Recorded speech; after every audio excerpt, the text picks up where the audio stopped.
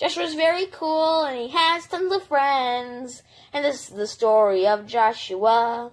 He lives in a super cool sci-fi base with his brand new friends.